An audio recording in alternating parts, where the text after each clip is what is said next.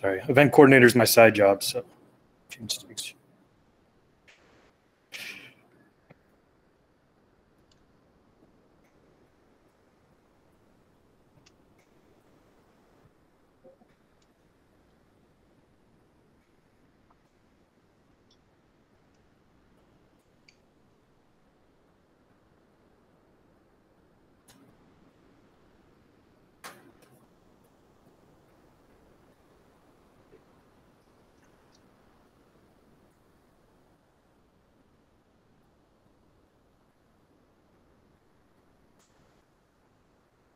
Saman, right?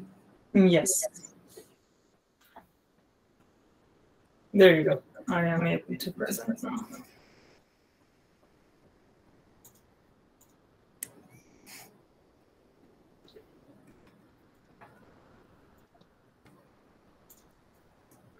All right. Um, can you guys see my screen? Yep, we can see your screen. Okay, perfect. Um, thank you. Uh, my name is Aman Arora. Uh, I'm a PhD candidate and a graduate fellow at UT Austin. Um, a little bit about the background of you know why I'm presenting this talk here today.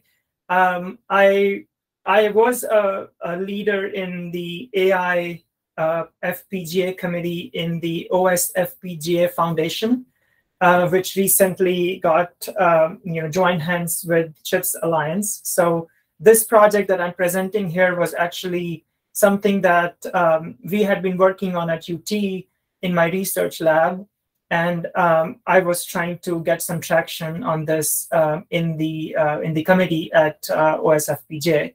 And now that you know it's everything is a part of Chips Alliance, um, through through this presentation, I'm kind of I'm going to give you an overview of what this project is, what we have done so far, and also kind of do a you know a call for contributions towards the end uh, to see if you know people are interested in this kind of work. And if there is you know um, a scope for you know we, we will be submitting this project as a sandbox project under chips alliance and seeing you know which uh, working group does this fit under or maybe starting a new working group or, or something like that. So uh, that's the background. Um, and the title of the talk is data set for ml guided chip design. Um, I'm going to get started now. Uh, but before actually I go into the details of this talk, um, I want to thank Jigang Wei, uh, who is a PhD student in our lab. Uh, he's the gorgeous person who's doing the hands-on work on this project, and I also want to thank my advisor, you know, Lizy John, um, you know, who has been funding all of us so far. All right, so um, ML or machine learning has been used for chip design for a lot of work. Uh, you know, I'm showing here a, a few uh, of the papers that I've come across in the recent uh, past. Uh, you know, the works in this area, um, you know, range from applying ML to, you know, doing placement or floor planning better, which is the famous paper from Google, to um, you know, doing prediction of, of some metric like predicting resource usage uh, for an FPGA, you know, design uh, using a, an ML model or trying to predict the power consumption of running some code on an FPGA or a GPU, uh, given the power consumption or given the performance counters when that application is run on a CPU. So um, and actually uh, specifically because I come from the FPGA uh, field, that's my main area of research. Um, there are a lot of papers uh, applying ML to perform prediction or improving the estimates uh, of, uh, you know, uh, area, area, frequency, power consumption, etc. Um, that are that that are gener the estimates that are generated by you know high-level synthesis tools, for example. So uh, all of these, um, you know, uh, experiments or projects to use ML for chip design, they need data sets. And um, if you see that, you know, generating a data set for, for, for these projects is actually pretty time consuming. It requires, you know, tools and licenses that may be proprietary you know, it requires, you know, a, a person to generate uh, scripts to, to run and parse the results. Uh, of course, it needs a lot of machines, you know, to run those tools, and also, um, you know, somebody has to curate the whole thing to make sure that uh, the data set is actually usable. Um, and all of the, uh, I shouldn't say all, but we looked through many of the uh, projects that I flashed through on the previous slide, and we see that all of them had proprietary data sets that are not available in, in open source. And for every project, you know, a new data set is created kind of on an ad hoc basis. Uh, and therefore, we have a lot of custom data sets that are available right now. And, um, and if you look at the contents of the data sets used by uh, you know the plethora of studies that exist out there it's not a it's not a large variety. There is a small subset of um, type of data that keeps getting used in most of these um, projects. And some of them i'm listing here you know um, graphs of netlists of hdl designs uh, signal activity with that with the graph of the netlist performance counters you know uh, of a c application running on hardware um, power consumption, either measured from a tool or measured on a board, um, you know, FPGA resource usage and timing for a particular HDL, uh, you know, design, um, 2D images of floor planning and placed and routed circuits. So this, this is the kind of five, six type of data that we, we came across. And so it turns out that many of these projects can actually reuse this data. They don't need to recreate the data set. But for that, data sets need to be present in the open source so they can be used by multiple people. Um, so we believe that open source data sets can be very useful in the research community. And we have actually started this project quite a long time ago. Um, you know, we only have one person uh, working on this and not even full time. Um, and th there is a lot of other, uh, you know, focus uh, when we are working on developing this uh, this uh, data set. So, um, so the, the, the, the, you know, the data set that we will present right now, um, until very recently, we believe that that was the first one that would be, uh, you know, available. But we recently saw just in October 2022, I think it was in ICCAD, I don't remember which conference, but it was released uh, by Peking University. It's a, it's a data set called CircuitNet. And it, it's a very small data set that covers mostly the, uh, you know, floor planning, placement, and routing type of information uh, for ASIC designs. But what we are working on is this thing that we're calling chip design dataset, CD squared S. Um, it has a set of HDL designs uh, and a set of C applications. Rather, I should say it has data collected from a set of HDL designs and a set of C applications. Um, the HDL designs we are sourcing from open cores. You know, there is a bunch of designs in VTR, Verilog to routing. Um, there's a there's a benchmark called Koios inside VTR um, and VDLA, and some other sources of open, uh, you know, designs. So we are taking these designs and then taking them through different flows to generate the kind of data um, in the data set. And similarly for C applications, we are taking C applications from Polybench, CHStone, um, MachSuite, etc., and um, generating similar data. Uh, for C applications, we first take them through an HLS flow and then generate the data um, because eventually we want to, you know, implement these C applications onto a, hardware. Now, um, let me give you a quick overview of what kind of data we are collecting.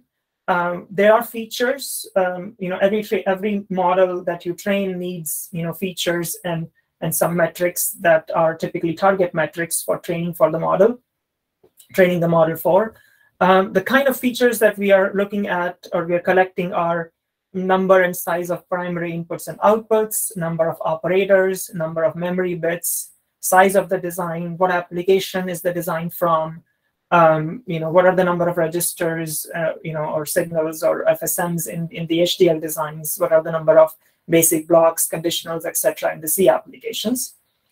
Um, and then we have some metrics that we are collecting. So for each design, we are collecting how much area does it consume, and the, the metric for that, like it, it is in terms of resource usage for FPGAs, but in terms of just an area number for um, for ASICs. and then we're collecting power consumption numbers, wire length numbers, operating frequency, etc. And we want to do this for multiple FPGA devices, for multiple FPGA vendors, uh, because we want this data set to be usable by many people. Um, just collecting data for one device or one vendor is not enough.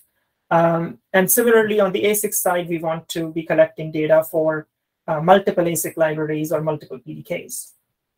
And um, also for multiple implementation settings, which uh, in case of C designs refers to you know different settings of HLS pragmas, um, or in, term, in, in the ASIC world, it refers to you know different gate level uh, synthesis options and multiple process kernels also.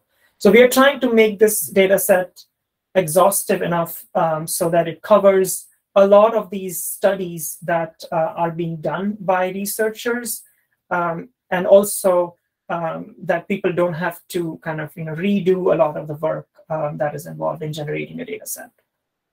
Now, um, before we actually kind of publish this data set, we also want to run some case studies to make sure that this data set is valuable enough. And this is the this chart here is showing the the space of case studies that we are thinking of undertaking. We will not be doing all of them. We have some in mind that we're working on right now. Um, but the idea is that let's say the user wants to train um, a model, an ML model to, uh, you know, yeah. So we're training an ML model, and the user can be give can give either the C code as its input and a, or a Verilog code as, as its input. So for these two, that is why we are using, you know, collecting data for C applications as well as HDL designs.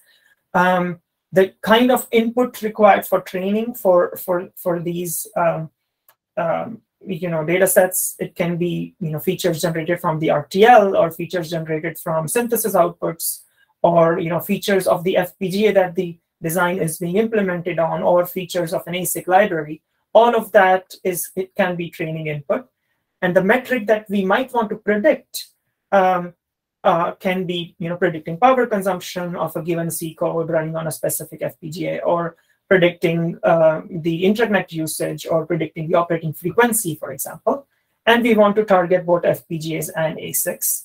And I'm showing here a stack of FPGAs and a stack of ASICs because we want this prediction, you know, these case studies to do cross prediction also, predicting from one FPGA to another.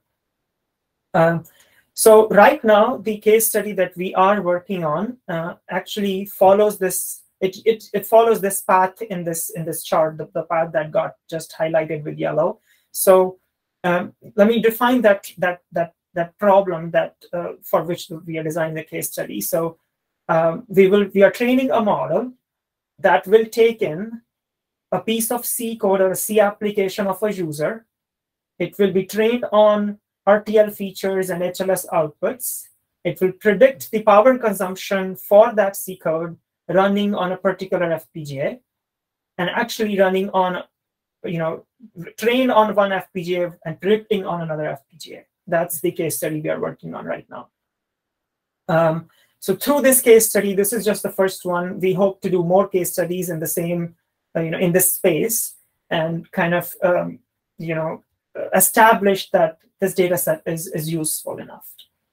So where are we right now? The, this is the link, and I'll quickly um, show, you know, just flash this uh, uh, this GitHub link. Uh, there is the the QR uh, code, by the way, but this is how it, the the you know the GitHub link looks like. It's under right now under our um, labs um, GitHub uh, project, and so there is some documentation. It, it's it's definitely it needs to be improved, but there are, you know, at the top level, there are two levels in it, ASIC and FPGA. Um, and if you, for example, go into the ASIC, there is some documentation of, you know, where the data data is, how it can be used, etc. And right now we have two types of data. One is, you know, data in CSV files, um, and one is data in tarballs because there was some data that we wanted to make a part of this data set, but it was huge, right? You know, multiple gigabytes of data that we didn't want to put on GitHub. So we have created tarballs for that kind of data. Um, but for some simple data, like you know, collecting information about resource usage or information about timing, uh, etc., that we have parsed ourselves and put in CSV files. so that's how the data set looks like. That's where we are. Um, uh, the current focus that we have is FPGA, collecting data for FPGA. We're not focusing on ASIC right now. Um, and we have a sufficiently large number of HDL designs and um, you know gen generated designs from C applications. And we have some funding for this project as well. Uh, we recently applied for funding uh, with Meta uh, for this project. And um, this is this is going to this is planned to be an open source project. Um, and so the next steps for for this project are you know we want to in, in the FPGA flow side we want to continue collecting data for MachSuite and CHstone. Right now we only have data for Polybench benchmarks. And on the Verilog side, we are we are currently parsing contents from Yosys reports, but we also want to you know run VTR and Vivado and maybe Quartus and parse reports for those uh, from those and, and, generate data for that. And the ASIC flow is something we haven't started yet. So as I said earlier, we want to bring this project to CHIPS Alliance. Um, we are going to submit this as a sandbox project soon. And the call to contribute is, um, you know, to kind of help us build this data set, be bigger and have more value and use, you know, use this data set, right? Um, find issues, find bugs, etc. in the data set while you contribute. Um, and the kind of work that will be involved, it will be you know, writing scripts, running these tools, and parsing data and collecting them. So in summary, um, you know, ML is being used in chip design processes uh, by so many researchers out there, so many companies out there.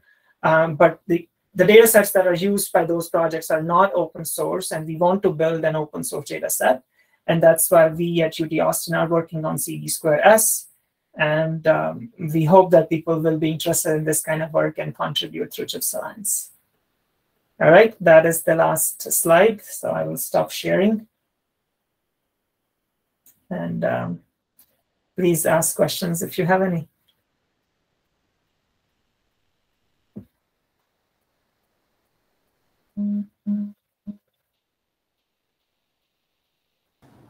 All right. Uh, uh, so uh, I don't I don't know if that was mentioned in the presentation, but I, I think I didn't see that. Uh, the repo does not contain a license. Uh, I assume it's just a temporary thing, but just make sure that you kind of uh, put an Apache license there so that we can kind of smoothly onboard it into chips when the right time comes. Perfect. Thank you. Thanks for noting that. Yeah, we're missing a license. and, and I asked this question uh, not just to be smart, but more like uh, very often when there's no license, it kind of implies that there's a problem with the license or uh, someone has some kind of uh, uh, not, not doesn't have crystallized plans for what the license is going to be. I think that's not the case here, right? You're actually uh, trying to get it into Chips Alliance, which requires Apache. So uh, it's kind of an obvious thing to add, which raises the confidence of people when they look at the repo. They're like, oh, yeah, it, it's Apache. It's fine. I can use that. And of course, like the follow up question is, uh, and I don't want to make things hard for you, but like when you generate this data, uh, and I'm not an expert, I'm a lawyer, but just make sure that you, you can actually license it under Apache um, because like you know AI is complicated in that way where the kind of data you parse uh, kind of and the results from this uh, whole endeavor kind of uh, the source material can influence so to say the output.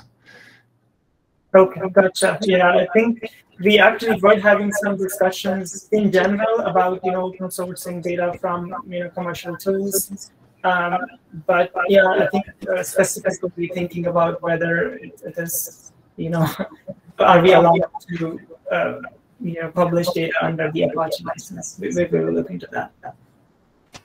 And of course, uh, Chips Alliance kind of uh, has a legal committee and, and kind of potentially could help in figuring that out. I'm not saying that we're uh, you know, we have a very strong track record of figuring out, you know, AI for chip design data sets as such, right? It's a fairly kind of new field, I would say. Uh, but certainly there's there's lawyers involved, right? So it doesn't have to be just developers talking to developers and trying to figure out if we have a good understanding of the law, that we can actually get professional help. Yeah, that's a good idea. I'll, I'll reach out to Rob. Um, I hope you, you can connect me to the legal people, Rob. My favorites. Don't quote me on that, please. I was being recorded. Now I'm in trouble. I, I did want to ask you one question. I enjoyed your talk. Have you working at all with uh, SI2? I know there's some initiative. I, I was meeting with Professor Andrew Kahng here about a month back in San Diego and Tom Spyrou, and I know there's some initiative to create a standardized API for collecting metrics that you would need relative to uh, chip design, you know, rather than having to uh, endlessly parse reports, you know, never my favorite topic, I might add, but just curious if you guys are working on that at all. No, we just have custom scripts to parse data. Um, can you tell me who you mentioned is working on something like that? I'm sorry, ask the question again, please. Um, who did you say is working on creating a This it, this is under SI2, which Okay. is uh, I don't want to say it's a proprietary organization. That's not quite right, but it is heavily participated in by the EDA industry. But it may help resolve some of the questions or concerns, assuming that they make this API publicly available under Apache 2.0 license that you know Michael was correctly sharing, right? And of course, that is a concern relative to using data that is generated by any of the proprietary solutions. So Okay, gotcha. we had a question here in the audience. Yeah, so I had this question that um, uh, ties into this as well, and that is, I saw you were talking about FPGA flows that you were using, and you had thought about an ASIC flow. I was wondering if you have looked at using Edalize uh, to um, to uh, target a lot of different FPGA and ASIC uh, targets, and also related to that, I mean that could also be a good place to put uh, this kind of um, uh, report parsing uh, in a centralized place two birds in one stone. Yeah, we haven't looked at Edalize. I am actually slightly familiar with it. Uh, I remember, uh, you know, there were discussions about it in the VTR group. Um, but no, I haven't. We haven't looked into it at all uh, for, for this purpose for this data set. I'll, I'll look. Great. Uh, one more, any more questions or one more question? Okay, thank you much so much for your talk, chat, Aman. I really appreciate it. Thank you. Thank you. Appreciate it. Thanks. So our next presenter is uh, Michael Gielda from uh, Antmicro, co-founder of Antmicro and VP of uh, Outreach and Development. Uh, Michael helps me quite a bit on Chips Alliance, so I really do appreciate that. So uh, I think this will be a great talk. Let me call in and see if it all works. Just join. Present.